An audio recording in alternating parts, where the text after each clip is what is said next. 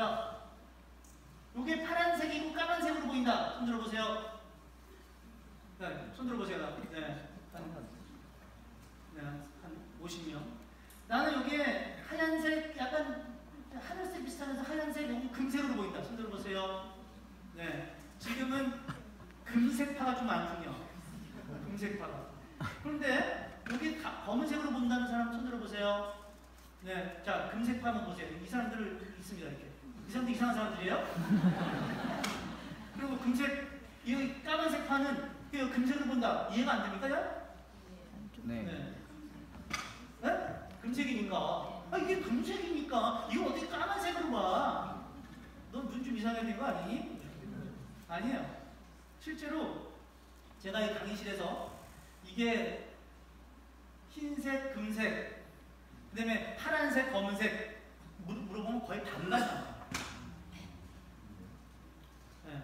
요거 지금 그 광선 쏘는 거에 따라서 좀 달라질 수도 있지만 어쨌든 우리는 지금 똑같은 걸 보고 있거든요. 똑같은 걸 보면서도 해석이 달라져요. 해석. 어떻게 해석이 달라질까요? 뒤에서 강력한 빛이 와- 뭐 이렇게 나와서 찍힌 사진이다 이렇게 볼 수도 있고 뒤는 어두운데 여 앞에 여 앞이 여기에 뒤에 하나다 이렇게 해석할 수도 있는 겁니다.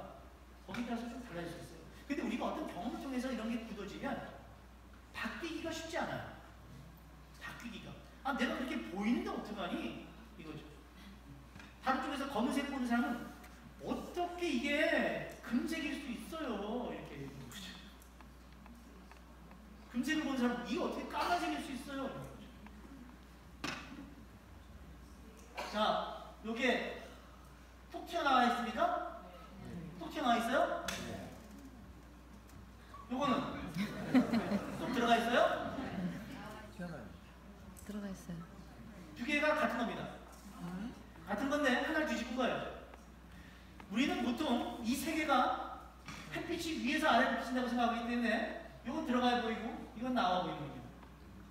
이 세상에 대한 가정, 햇볕은 위에서 비친다. 그렇게 살아왔으니까. 그렇죠?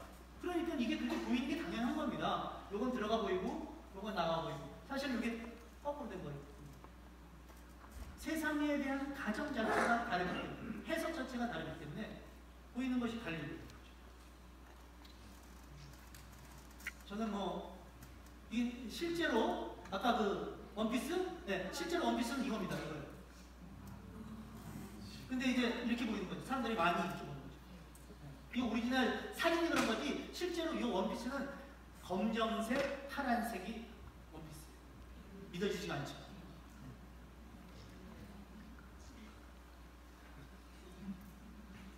세상을 보는 눈이 다른 겁니까? 뭐, 더 이상 얘기 안 하겠습니다.